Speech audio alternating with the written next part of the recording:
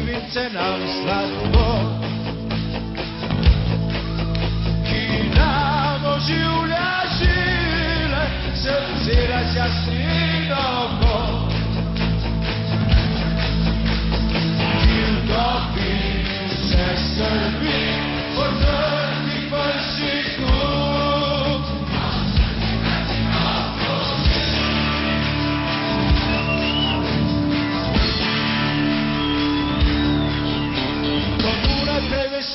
ozdravit, co bratě, šlo to byt.